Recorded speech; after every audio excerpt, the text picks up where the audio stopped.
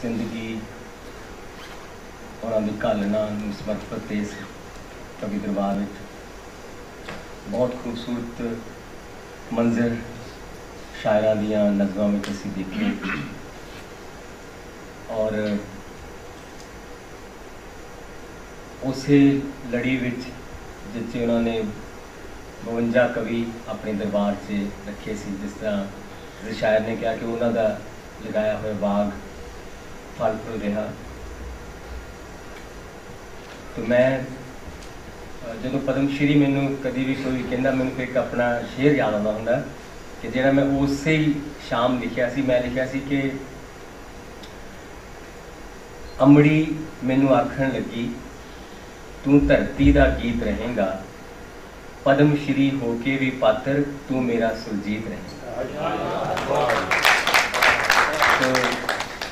ਦੋ ਛੋਟੀਆਂ ਛੋਟੀਆਂ ਮੈਂ ਖੁਦਾ ਆਪ ਜੀ ਦੀ ਸੇਵਾ ਵਿੱਚ ਪੇਸ਼ ਕਰਦਾ।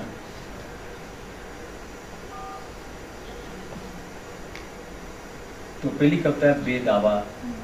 ਬੇਦਾਵਾ ਅਸੀਂ ਸਾਰੇ ਜਾਣਦੇ ਹਾਂ, ਜਿਸ ਤਰ੍ਹਾਂ ਜੋ ਬੇਦਾਵੇ ਦੀ ਕਥਾ ਹੈ, ਜੋ ਬੇਦਾਵੇ ਦਾ ਮੰਜ਼ਰ ਹੈ, ਉਹ ਜਾਣਦੇ ਹਾਂ। ਤੇ ਮੈਂ ਇਹਨੂੰ ਪਰ ਇੱਕ ਵੱਖਰੇ ਕੌਮ ਤੋਂ ਬਹੁਤ ਛੋਟੇ ਜਿਹੇ ਰੂਪ 'ਚ ਲਿਖਿਆ ਕਿ ਹਰ ਵਾਰੀ ਲੋਕੋ ਬੇਦਾਵੇ ਕਾਗਜ਼ ਤੇ ਨਹੀਂ ਲਿਖੇ ਜਾਂਦੇ। ਹਰ ਵਾਰੀ ਲੋਕੋ ਬੇਦਾਵੇ ਕਾਗਜ਼ ਤੇ ਨਹੀਂ ਲਿਖੇ ਜਾਂਦੇ, ਨਾ ਖੌਫ ਤੇ ਦੁੱਖ ਸੰਗ ਸੁਲਗਦਿਆਂ ਲਫ਼ਜ਼ਾਂ ਦੇ ਨਾਲ ਕਹੇ ਜਾਂਦੇ। ਉਹ ਲੋਕ ਤਾਂ ਸੱਚੇ ਸਨ ਜਿਹੜੇ ਲਿਖ ਕੇ ਬੇਦਾਵਾ ਦੇ ਗਏ। ਉਹ ਲੋਕ ਤਾਂ ਸੱਚੇ ਸਨ ਜਿਹੜੇ ਲਿਖ ਕੇ ਬੇਦਾਵਾ ਦੇ ਗਏ ਸਨ। ਪਰ ਫਿਰ ਸਿਆਹੀ ਦੇ ਹਰਫਾਂ ਨੂੰ ਰੱਤ ਆਪਣੀ ਦੇ ਸੰਗ ਧੋ ਗਏ। ਸਨ ਉਹ ਲੋਕ ਤਾਂ ਸੱਚੇ ਸਨ ਜਿਹੜੇ ਲਿਖ ਕੇ ਬੇਦਾਵਾ ਦੇ ਗਏ ਸਨ ਤੇ ਫਿਰ ਸਿਆਹੀ ਦੇ ਅੱਖਰਾਂ ਨੂੰ ਰੱਤ ਆਪਣੀ ਦੇ ਸੰਗ ਧੋ ਗਏ ਸਨ। ਅਸੀਂ ਛੱਡ ਦੁਖੀਆਂ ਨੂੰ ਸਿਸਕਦਿਆਂ ਨਿਤ ਆਪਣੇ ਆਪਣੇ ਘਰ ਜਾਈਏ। ਇਹ ਵੀ ਤਾਂ ਇੱਕ ਬੇਦਾਵਾ ਹੈ ਜੋ ਪੈਰਾਂ ਦੇ ਸੰਗ ਲਿਖਦਾ ਹੈ। ਅਸੀਂ ਛੱਡ ਦੁਖੀਆਂ ਨੂੰ ਸਿਸਕਦਿਆਂ ਨਿਤ ਆਪਣੇ ਆਪਣੇ ਘਰ ਜਾਈਏ। ਇਹ ਵੀ ਤਾਂ ਇੱਕ ਬੇਦਾਵਾ ਹੈ ਜੋ ਪੈਰਾਂ ਦੇ ਸੰਗ ਲਿਖ ਜਾਈਏ। ਹਰ ਪੈੜ ਹੀ ਅੱਖਰ ਹੋਈ ਹੈ। ਹਰ ਪੈੜ ਹੀ ਅੱਖਰ ਹੋਈ ਹੈ, ਹਰ ਰਸਤਾ ਵਰਕਾ ਹੋਇਆ ਹੈ। ਹਰ ਪੈੜ ਹੀ ਅੱਖਰ ਹੋਈ ਹੈ, ਹਰ ਰਸਤਾ ਵਰਕਾ ਹੋਇਆ ਹੈ। ਲੱਗਦਾ ਹੈ ਸਾਰੀ ਧਰਤੀ ਤੇ ਬੇਦਾਵਾ ਲਿਖਿਆ ਹੋਇਆ ਲੱਗਦਾ ਹੈ ਸਾਰੀ ਧਰਤੀ ਤੇ ਬੇਦਾਵਾ ਲਿਖਿਆ ਹੋਇਆ ਹੈ, ਅਸੀਂ ਕਿੰਜ ਸੁਰਖਰੂ ਹੋਵਾਂਗੇ? ਅਸੀਂ ਕਦਮ ਮੁਕਤੇ ਅਖਵਾਵਾਂਗੇ। ਅਸੀਂ ਕਿੰਜ ਸੁਰਖਰੂ ਹੋਵਾਂਗੇ? ਅਸੀਂ ਕਦ ਮੁਕਤੇ ਅਖਵਾਵਾਂਗੇ। ਜਾਂ ਪੈਰਾਂ ਦੇ ਸੰਗ ਧਰਤੀ ਤੇ ਬੇਦਾਵਾ ਲਿਖਦੇ ਲਿਖਦੇ ਹੀ ਇਸ ਦੁਨੀਆ ਤੋਂ ਤੁਰ ਜਾਵਾਂਗੇ। ਤੋ ਦੂਜੀ ਨਜ਼ਮ ਵਿੱਚ ਮੈਂ ਜਿਸ ਤਰ੍ਹਾਂ ਦਾਊ ਸਾਹਿਬ ਨੇ ਪੰਜ ਪਿਆਰਿਆਂ ਦੇ ਸਾਜਣ ਦੀ ਦਾ ਪ੍ਰਸੰਗ ਬਿਆਨ ਕੀਤਾ ਸੀ। ਤੋ ਮੈਂ ਇਹਨਾਂ ਨੂੰ ਥੋੜੇ ਜਿਹੇ ਵੱਖਰੇ ਰੂਪ ਵਿੱਚ ਤੁਹਾਡੀ ਸੇਵਾ 'ਚ ਪੇਸ਼ ਕਰਦਾ। ਉਮੀਦ ਹੈ ਪ੍ਰਵਾਨ ਕਰੋਗੇ। ਗੁਰੂ ਗੋਬਿੰਦ ਦੇ ਹੱਥ ਵਿੱਚ ਜਦੋਂ ਸ਼ਮਸ਼ੀਰ ਨੰਗੀ ਸੀ, ਗੁਰਾਂ ਨੇ ਸੀਸ ਦੀ ਜਦ ਭੇਟ ਮੰਗੀ ਸੀ, ਤਾਂ ਪਹਿਲੇ ਸੀਸ ਦੀ ਭੇਟਾ ਕਬੂਲਣ ਬਾਅਦ ਉਹ ਤੰਬੂ ਚੋਂ ਜਦ ਦੀਵਾਨ ਵਿੱਚ ਆਏ, ਤਾਂ ਕਹਿੰਦੇ ਨੇ ਕਿ ਉਹ ਸ਼ਮਸ਼ੀਰ ਰਤ ਦੇ ਨਾਲ ਰੰਗੀ ਗੁਰੂ ਗੋਬਿੰਦ ਦੇ ਹੱਥ ਵਿੱਚ ਜਦੋਂ ਸ਼ਮਸ਼ੀਰ ਨੰਗੀ ਸੀ, ਗੁਰਾਂ ਨੇ ਸੀਸ ਦੀ ਜਦ ਭੇਟ ਮੰਗੀ ਸੀ, ਤਾਂ ਪਹਿਲੇ ਸੀਸ ਦੀ ਭੇਟਾ ਕਬੂਲਣ ਬਾਅਦ ਉਹ ਤੰਬੂ ਤੋਂ ਜਦ ਦੀਵਾਨ ਵਿੱਚ ਆਏ, ਤਾਂ ਕਹਿੰਦੇ ਨੇ ਕਿ ਉਹ ਸ਼ਮਸ਼ੀਰ ਰਤ ਦੇ ਨਾਲ ਰੰਗੀ ਸੀ।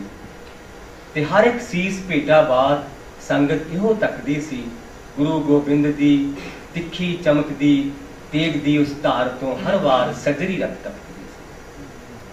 ਉਹ ਰਤ ਕਿਸਦੀ ਸੀ? ਉਸ ਖਾਤਰ ਗੁਰਾਂ ਨੇ ਘਾਟ ਆਪਣੀ ਤੇਗ ਦੇ ਜੋ ਸਨ ਉਤਾਰੇ, ਕੌਣ ਸਨ? ਉਹ ਉਹ ਇੱਕ ਤਾਂ ਮੌਤ ਦਾ ਭੈ ਸੀ, ਜੋ ਪਹਿਲੇ ਵਾਰ ਦੇ ਵਿੱਚ ਸਤਿਗੁਰਾਂ ਨੇ ਮਾਰਿਆ ਸੀ।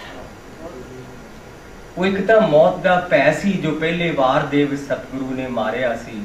ਤੇ ਦੂਜੇ ਵਾਰ ਵਿੱਚ ਸਤਿਗੁਰ ਜਨਮ ਦੀ ਜਾਤ ਵੱਡੀ ਸੀ। ਤੇ ਤੀਜੇ ਵਾਰ ਦੇ ਵਿੱਚ ਸਤਿਗੁਰਾਂ ਹਉਮੈ ਜ਼ਿਬਾ ਕੀਤੀ ਤੇ ਚੌਥੇ ਵਾਰ ਦੇ ਵਿੱਚ ਸ਼ਾਨ ਝੂਠੇ ਪਾਤਸ਼ਾਹਾਂ ਦੀ ਤੇ ਪੰਜਵੇਂ ਵਾਰ ਦੇ ਵਿੱਚ ਵਿਤ ਆਪਣੇ ਖਾਲਸੇ ਤੇ ਆਪਣੇ ਵਿਚਕਾਰ। ਕੌਣ ਸਨ ਉਹ?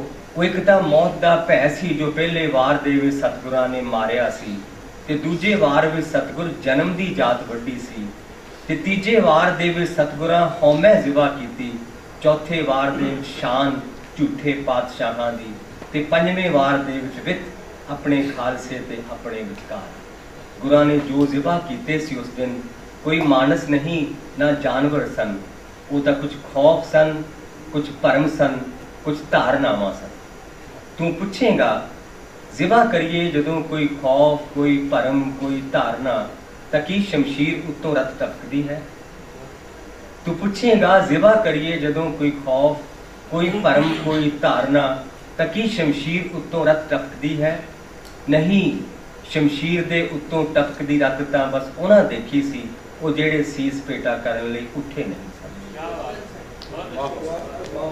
ਨਹੀਂ ਸ਼ਮਦੀਪ ਸ਼ਮਸ਼ੀਰ ਦੇ ਉੱਤੋਂ ਟਪਕਦੀ ਰੱਤ ਤਾਂ ਬਸ ਉਹਨਾਂ ਦੇਖੀ ਸੀ, ਉਹ ਜਿਹੜੇ ਸੀਸ ਪੇਟਾ ਕਰਨ ਲਈ ਉੱਠੇ ਨਹੀਂ ਸਨ ਜੋ ਉੱਠੇ ਸਨ, ਉਹਨਾਂ ਨੇ ਕਦ ਟਪਕਦੀ ਰੱਤ ਦੇਖੀ, ਉਹਨਾਂ ਨੇ ਤਾਂ ਬਰਸ ਦਾ ਨੂਰ ਤੱਕਿਆ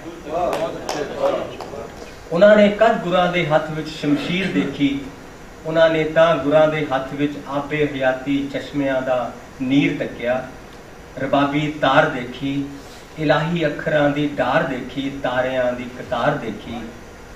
ਉਹਨਾਂ ਨੇ ਤਾਂ ਗੁਰੂ ਦੇ ਹੱਥ ਵਿੱਚ ਜੋ ਉੱਠੇ ਸਨ, ਉਹਨਾਂ ਨੇ ਕਦ ਗੁਰੂ ਦੇ ਹੱਥ ਵਿੱਚ ਸ਼ਮਸ਼ੀਰ ਦੇਖੀ? ਉਹਨਾਂ ਨੇ ਤਾਂ ਗੁਰਾਂ ਦੇ ਹੱਥ ਵਿੱਚ ਆਬੇ ਹਯਾਤੀ ਚਸ਼ਮਿਆਂ ਦਾ ਨੀਰ ਤੱਕਿਆ ਰਬਾਬੀ ਤਾਰ ਦੇਖੀ, ਇਲਾਹੀ ਅੱਖਰਾਂ ਦੀ ਡਾਰ ਦੇਖੀ, ਤਾਰਿਆਂ ਦੀ ਕਤਾਰ ਦੇਖੀ, ਰੋਸ਼ਨੀ ਦੀ ਲੀਕ ਦੇਖੀ ਤੇ ਜਾਂਦੀ ਜਨਮ ਤੇ ਮਰਤੂ ਦੇ ਦੇਸੋਂ ਪਾਰ ਸਦੀਆਂ ਤੀਕ ਦੇਖੀ। ਉਹਨਾਂ ਨੇ ਕਦ ਗੁਰਾਂ ਨੂੰ ਦੇਖਿਆ? ਉਹਨਾਂ ਤਾਂ ਦੇਖਿਆ ਇੱਕ ਛਲਕਦਾ ਹੋਇਆ ਮੁਹੱਬਤ ਦਾ ਸਮੁੰਦਰ। ਤੇ ਦਰਿਆਵਾਂ ਦੇ ਵਾਂਗੂ ਉੱਠ ਤੁਰੇ ਪੰਜੇ ਮੁਹੱਬਤ ਦੇ ਸਮੁੰਦਰ ਵਿੱਚ ਮਿਲਣ ਖਾਤਰ ਗੁਰੂ ਗੋਬਿੰਦ ਦੇ ਬਹੁਤ ਅੱਛੇ ਬਹੁਤ